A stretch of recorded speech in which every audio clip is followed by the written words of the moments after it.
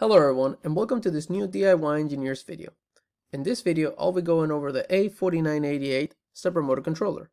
In the video I'll be covering the basics of the driver as well as the pins and microstepping. I'll walk you through how to set VREF, the reference voltage, to avoid driving excessive current into your stepper motor. I'll go over the diagrams to connect to your Arduino Uno or to connect to a Node MCU. And of course, I'll be walking you through how to program it in Arduino for either the Node MCU or the Arduino Uno. And this will be for multiple examples, of course, as usual, including constant rotation of the motor, rotating the motor mimicking a clock, and moving to specific positions with your stepper motor as needed. So let's go ahead and get started. Alright, so here we have the A4988 stepper motor driver. In this video, we'll be going on multiple things, but first let's go ahead and take a look at the actual, you know, controller. You can see that it has multiple pins. Um, it has at the top a heat sink to make sure it doesn't overheat. Um, you can see the potentiometer near the bottom center, near my thumb, which is used for um, overcurrent regulation to prevent, you know, passing higher currents than you want to your motor. Um, so we'll be going over plenty of details on this stepper motor driver. Uh, just wanted you to at least take a quick look at it. And now we'll jump into talking a little bit about the what a stepper motor is in case you don't have enough background. And then we'll jump right into the meat of this video. So let's get started. So now, what is a stepper motor? A stepper motor is a type of DC motor that divides its motion into individual steps of equal angular rotation. It's common for a step motor to have, let's say, 200 steps per rotation or steps per revolution, which is the case of the motor that I'm going to be working with in the examples in this video. This is a NEMA 14 HS10 0404S, the one you're actually seeing in this picture. So this one will have 200 steps per revolution. So if I had to do one rotation, I would want the motor or the shaft to rotate 200 steps. And so due to the nature of this motor, we can control the motion down to the step, or actually even more if you're micro-stepping. In this video that I'm showing here, I'm actually using a push button to tell the motor to move one step every time I push the button. So you can see it can be very accurate. This motor, it is it's very accurate. It can be used for many applications where a specific position is key. Some examples that, that come to mind are 3D printers, CNC machines,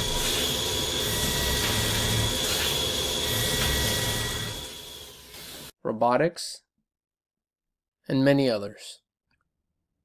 Alright, so now let's go ahead and review the pins for A4988 stepper motor controller. First, we have the enable pin on the top left, which basically used to enable the A4988 driver.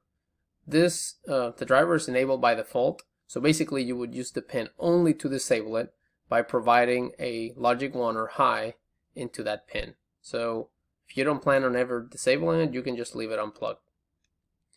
Then we have MS1, MS2, and MS3.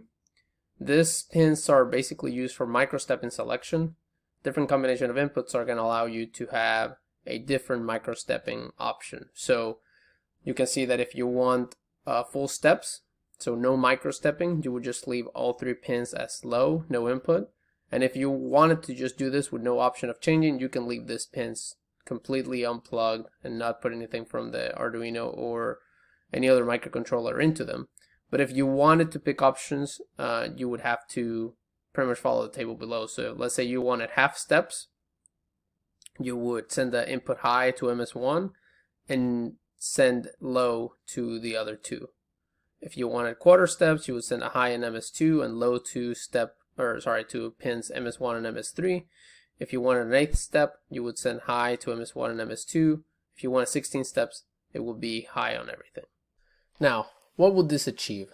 If you went with full steps, you would take 200 steps per revolution. If you did half steps, you would do 400 steps per revolution. If you did quarter steps, you would do 800 steps per revolution. If you did 8 steps, you would do 1600 steps per revolution. In 16 steps, it will be 3200 steps per revolution. That is assuming that on full steps, you do 200 steps per revolution to begin with per your motor. So essentially, you increase the resolution and your motor moves smoother from steps to step or from angular rotation because now it's not doing individual larger steps rather it's doing individual smaller steps. So then we have the reset and sleep buttons. Uh, the reset, basically when activated, it ignores all inputs sent to the step pin, which we'll review later after we go through this one. Uh, so reset is activated when it's pulled down. So this pin is floating. So a way to keep it high is by keeping it connected to the sleep pin. Uh, which the sleep pin can be used to minimize power consumption when the motor's not in use. So if you want to put the car to sleep, basically. So now we can go over the step and the DIR or DIR uh, pins. So step, this is where you tell the stepper motor controller or driver that you want to move the stepper motor by one step. Or, uh, well, basically that step will be defined by the micro stepping setting. Uh, so a signal high equals one step, uh, and then you will send it to low and then to high again. So the speed at which you send those pulses define how quickly we're really going to be moving uh, our stepper motor or how quickly we're going to go through the steps of the stepper motor. The DIR pin is basically for direction and it's either clockwise or counterclockwise. So then we have VMOT, which is basically the volt input voltage into the motor. Um, so the A4988 stepper motor driver allows anything from 8 volts to 35 volts. But of course, what you need to plug in is based on your actual stepper motor requirements for voltage. So the motor I'm using for this example is a 12 volt motor, so I'll be connecting 12 volts in the examples that I'm going to show here. So then we have the ground pins, one on the second one from the top on the right side, pretty much the ones I'm showing here on the screen. These basically, you just need to connect to the common ground consistent with the ground for this pin, sorry, for this uh, driver, for the Arduino and everything else. We have 1A, 1B, 2A, 2B. These are essentially the output pins of our A4988 stepper motor driver, and these will be connected to your bipolar stepper motor. Uh, one loop goes through the stepper motor through 1A and, and 1B. So one loop from your stepper motor and the other loop will go through 2A and 2B. Make sure to look at your motor data sheet to confirm which set of cables are in the common loop and which basically what are your two loops from your four cables. Finally, we have VDD. This is the pin used to power the internal circuitry of your A4988. Acceptable voltage ranges from 3 volts to 5.5. We also have the current limit control. This is essentially a potentiometer that is used to prevent the current flowing through your stepper motor from exceeding its max rated current. So you will want to make sure to check the amps for which your motor is rated and then to properly set up this current limit control such that you don't exceed it. To avoid exceeding it, you want to define the reference voltage, Vref. So I'll walk you through how to do that uh, and do it specifically for the motor that I'm using in the examples under this video. So for my motor, the limit is 0.4 amps or 400 milliamps. The rule of thumb is to divide this value by 2.5 ohms. When we divide it by 2.5 ohms, we get 0.16 volts. So that is the reference voltage that I'm going to be going for. One more thing. The A4988 stepper motor driver has a max continuous current of 1 amp per phase without using any heatsink or any sort of cooling, whereas it can be up to 2 amps with proper cooling. So make sure you're taking this into account and compare it to your motor current to make sure you're not exceeding the maximum current that this device can handle. So now, to measure the reference voltage, I went ahead and I have my voltmeter. I'm going to turn it on. I have the ground clip connected to ground on our stepper motor driver and the positive end of my voltmeter, I have it clipped with alligator clips to the screwdriver. So now I can turn on, sorry, if I turn anything on, I'm going to unplug the motor. I'm going to turn it on.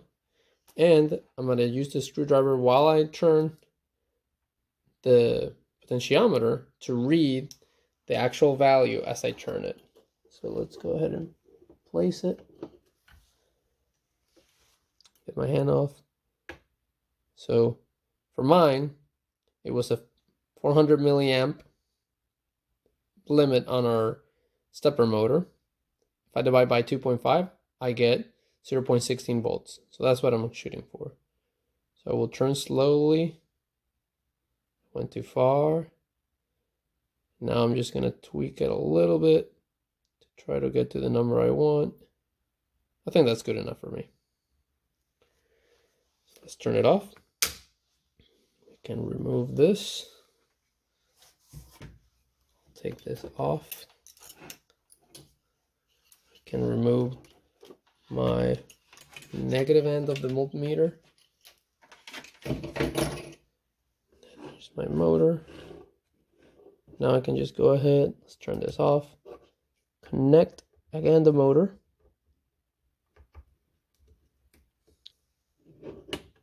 So now I can go ahead and turn it on.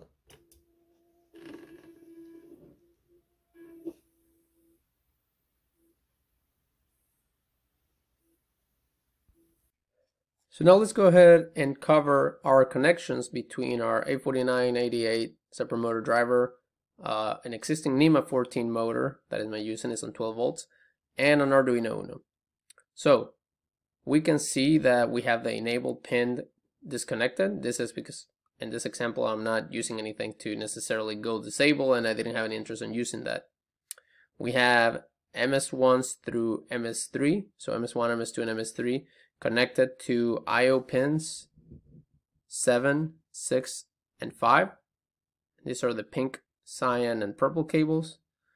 Then I have reset and sleep connected together and they go to IO pin number 4 if you were ever to send any commands that way. I don't do it in any of the examples I'm showing.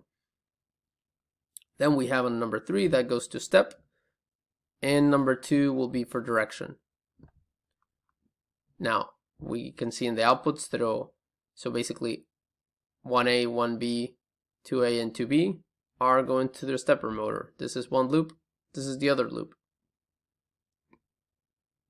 We have VMOT connected to a 12 volt power supply because it's a 12 volt motor.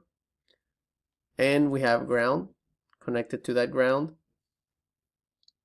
Also, we have a 100 microfarad capacitor and that's to smoothen your uh, voltage supply and to make sure that you provide a consistent voltage free of fluctuations or to help at least in that sense.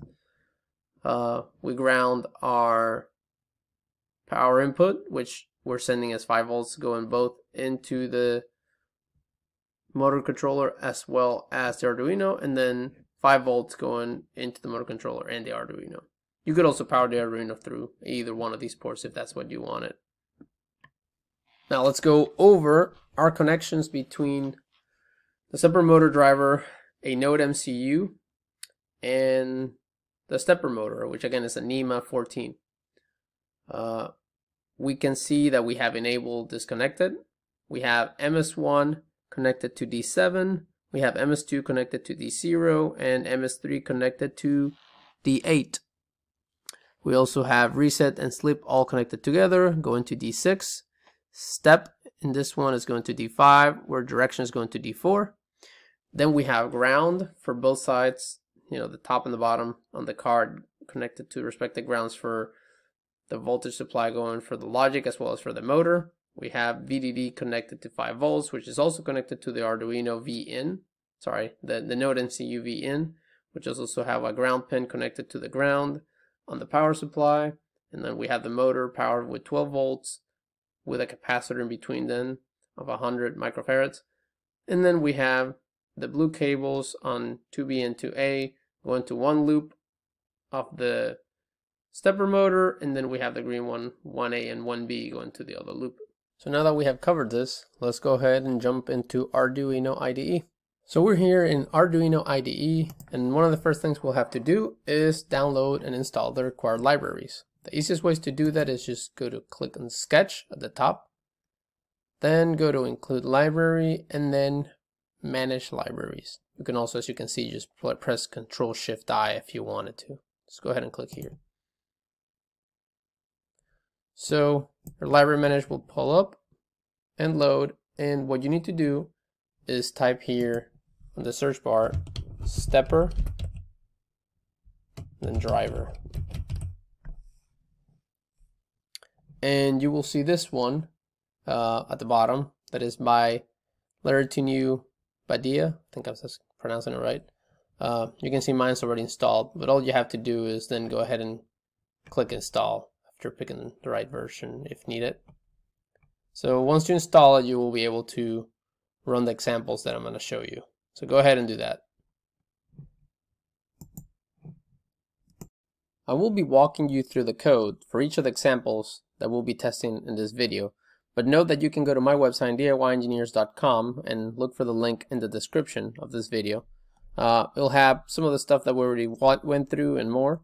Um, you can look through the pictures in the description. But the key is it has the code for the examples that we're going to go through with the Arduino Uno and the Node MCU uh, broken into sections. So here are the A4988 examples for the Node MCU and I'll show them one by one where you can easily copy and paste them into your Arduino IDE. And then the same here for Arduino Uno. So go ahead and go to DIYengineers.com and take a look at the code. All right, let's get back to Arduino. All right, so I'll be walking you through four examples with the A4988 stepper motor controller.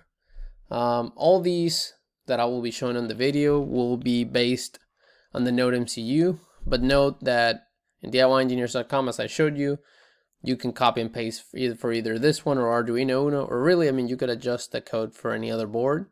Uh, but I do have it pre-written for Node MCU and Arduino Uno.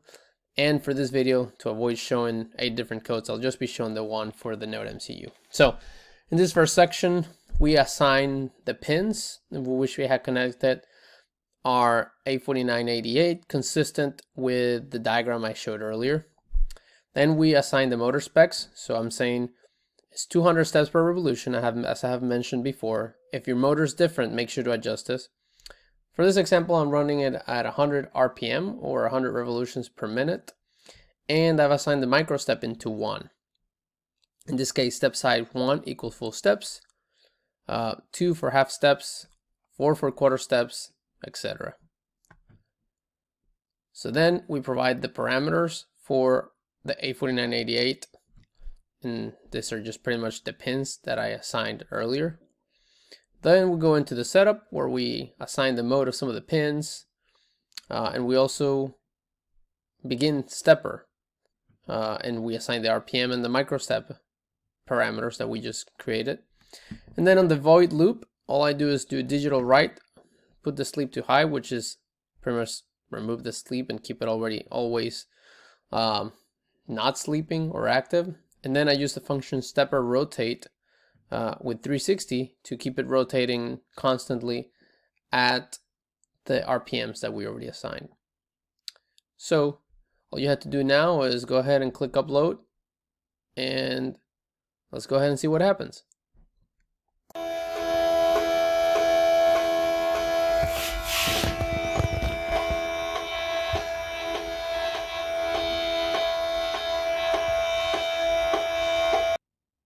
Let's go to the next example. I didn't change any of the parameters on the inputs defining the pins. I did change the RPMs to one revolution per minute.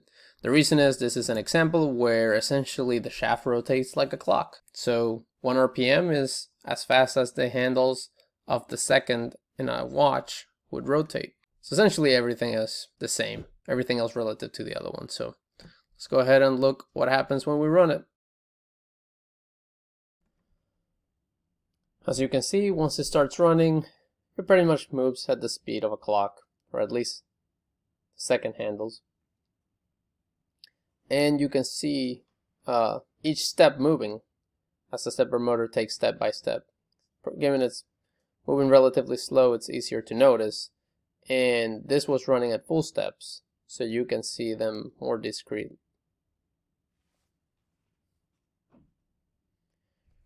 As it runs. So for the next example, we'll be running the same code with the only change being we're going to now microstep.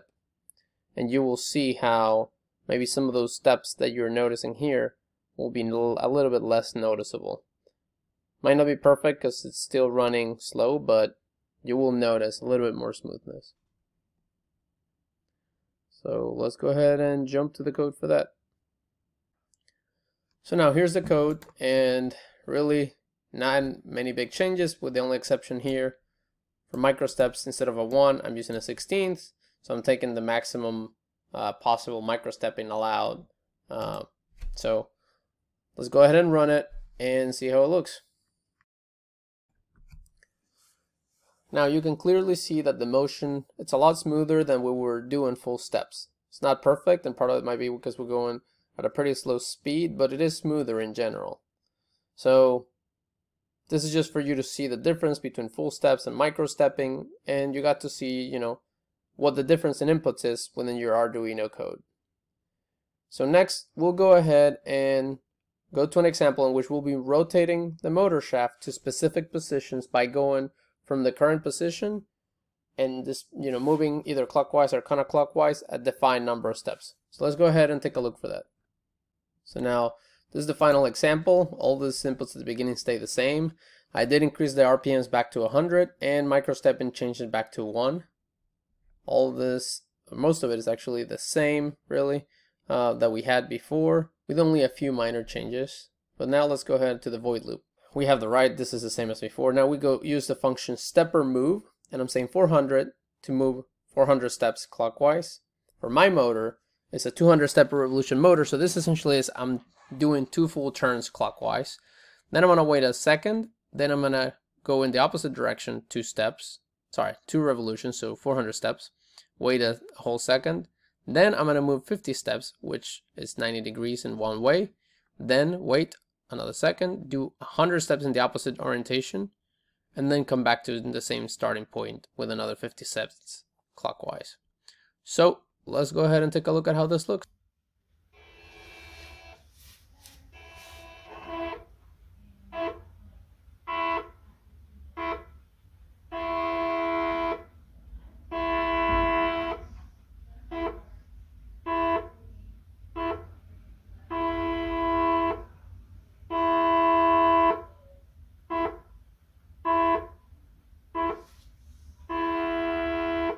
So this concludes this video. I hope you liked the video. If you did, please give us a thumbs up and subscribe. Hope to see you in the next one. Thank you very much.